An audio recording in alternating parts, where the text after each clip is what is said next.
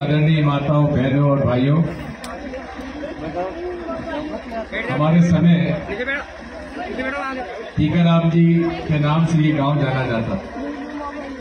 आज वो हमारे बीच में नहीं है, लेकिन उनकी यादें हमारे पास है। मैं इतना ही कहना चाहता हूँ कि ये लोकसभा चुनाव राजगढ़ के प्रतिनिधि।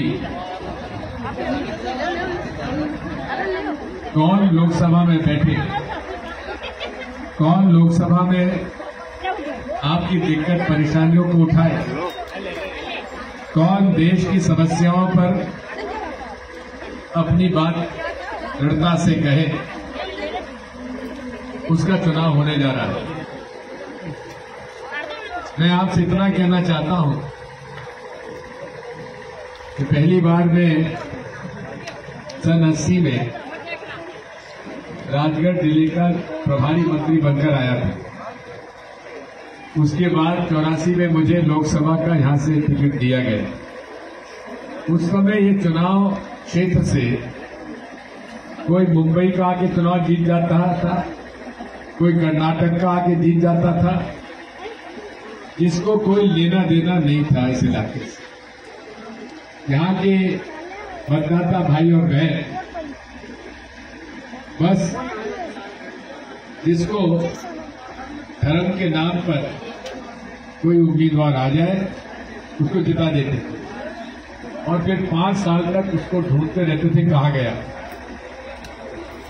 मुझे चौरासी में टिकट दिया गया और मुझे इस बात की खुशी है कि यहाँ के लोगों का प्यार तब से मुझसे मिलता है। मैंने राजगढ़ ज़िले में और राजगढ़ के लोकसभा सीट पर क्या क्या किया जा सकता उस पर पूरा मेरा प्रयास रहा। राजगढ़ ज़िले में जमीनें कमज़ोर होने के कारण यहाँ पे अनाज भी बाहर से आता और यहाँ से अधिकांश जनसंख्या रामगंज मंडी की खदानों में काम करने के लिए निकल जाती थी। या चैत करने बाहर चले जाते। अब ये हालत है कि चैत करने के लिए बाहर से लोग यहाँ आ रहे हैं और मशीनें लग रही हार्वेस्टर चल रहे हैं।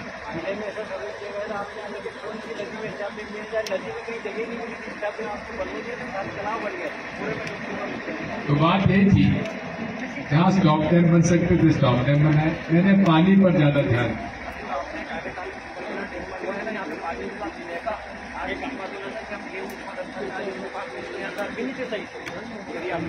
मैं मैंने हमेशा राजगढ़ ज़िले में पानी की सबसे बड़ी प्राथमिकता मैंने दी। और आज हालत ये है कि जहाँ अनाज पैदा नहीं होता था, वहाँ आज वेयर हाउस पे वेयर हाउस बनते चले जा रहे हैं। अब किसने वेयर हाउस बनाए ज़्यादा वो मैं नहीं कहूँगा। किसानों ने यहाँ मेहनत करी है? और आज काफ़ी इसमें तरक्की भी हुई है। हर गाँव में बिजली पहुँची, हर गाँव में पीने की व्यवस्था हुई, और रामगंज मंडी से भोपाल की रेलवे लाइन भी हम लोगों ने उस समय मंजूर कराई थी, जो अभी चल रहा है।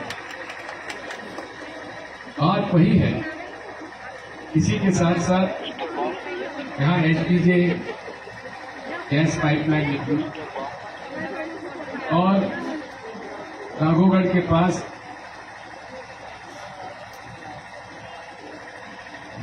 डैम था और ज़मीन थी।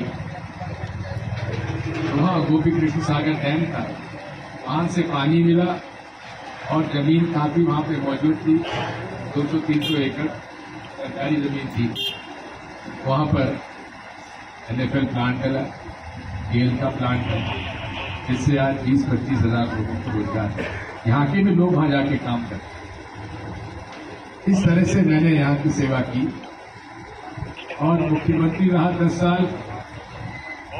तो गेट पर यह आदेश था कि किसी भी राजगढ़ संसदीय क्षेत्र के व्यक्ति को आने से कोई रोकेगा नहीं।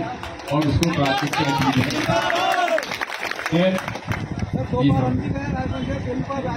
सकता तब से लेकर आज तक मेरे संबंध रहे, लेकिन 2003 के बाद से मेरा संबंध टूट गए थे क्योंकि मेरी पार्टी ने मुझे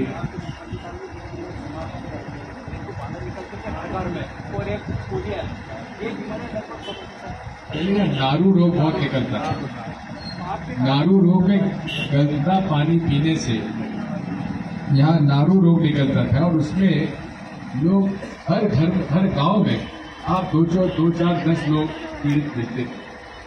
तो मैंने नारू रोग मिशन यहाँ चालू करवाया और हैंडपम्प इसकी वजह से लगे और तीन साल के अंदर नारू रोग समाप्त हो गया। आज एक भी नारू रोग ढूँढने में नहीं मिलता। पोलियो यहाँ पे बहुत होता था।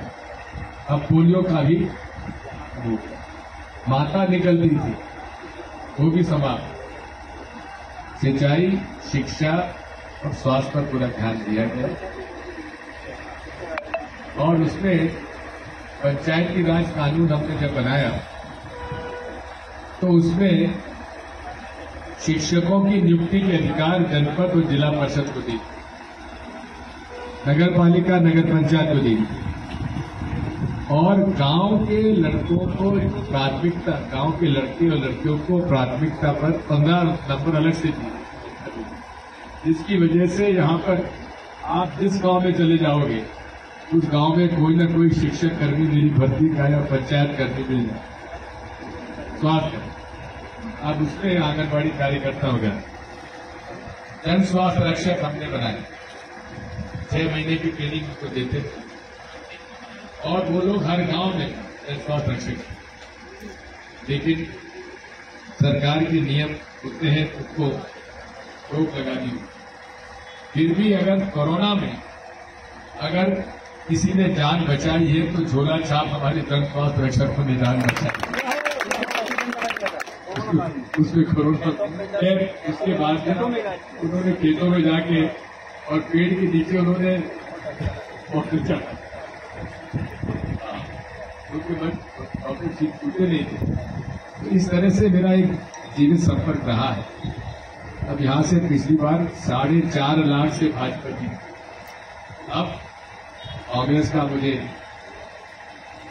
आदेश हुआ चुनाव लड़ना है। भाजपा ने कहा कि कांग्रेस के लोगों को कोई नौजवान उम्मीदवार नहीं मिला तो उन्होंने सतहत्तर साल के बूढ़े को चुनाव लड़ा दिया।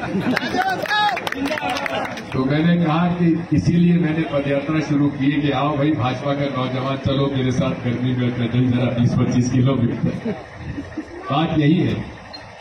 मेरा जीवन राजनीति में पचास साल हो गए और मेरा जीवन पूरे तरीके से समाज सेवा में गया है और आगे भी जो भी आजकल इसमें चलाएगा, मैं जनता के बीच में रहूँगा। ये क्षेत्र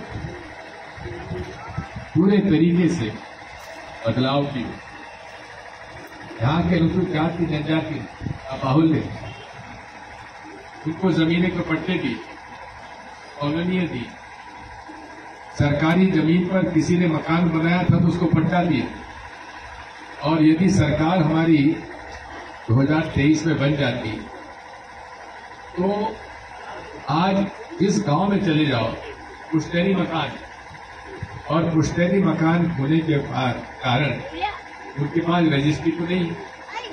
जब रजिस्ट्री नहीं है तो उनको बैंक का कर्जा नहीं मिलता तो हमारा घोषणा पत्र में ये निर्णय था सुझाव था कि अगर सरकार कांग्रेस की बनेगी तो उन सब लोगों को मुफ़्त में सरकार रजिस्ट्री करके देगी। सरकार नहीं ऐसे नहीं बनी। ये तो भगवान बता सकते हैं, क्योंकि किसी को उम्मीद नहीं थी कि भाजपा सरकार बनाएगी अब उसमें मशीन का खेल हुआ कि किसका खेल हुआ हम नहीं जानते। चलो, आज हम आपसे पूछते हैं, ये बताओ कि अपना चुनाव बैलेट पेपर से होना चाहिए कि मशीन से होना चाहिए? बोलो। बैलेट पेपर से, है? ईवीएम से, मशीन से चुनाव कराने के पक्ष में कोई हो तो हाथ उठाओ।